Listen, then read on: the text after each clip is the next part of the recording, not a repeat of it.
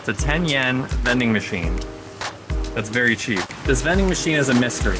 We have three 10 yen coins, so we're gonna see what we get. Hopefully we get a fun little drink, and hopefully none of them are expired. Here we go.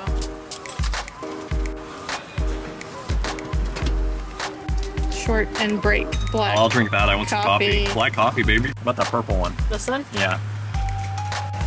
It's all the same thing. It's all the same thing.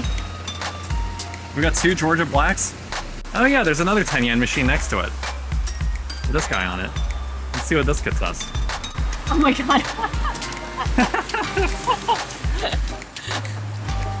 it's all the same.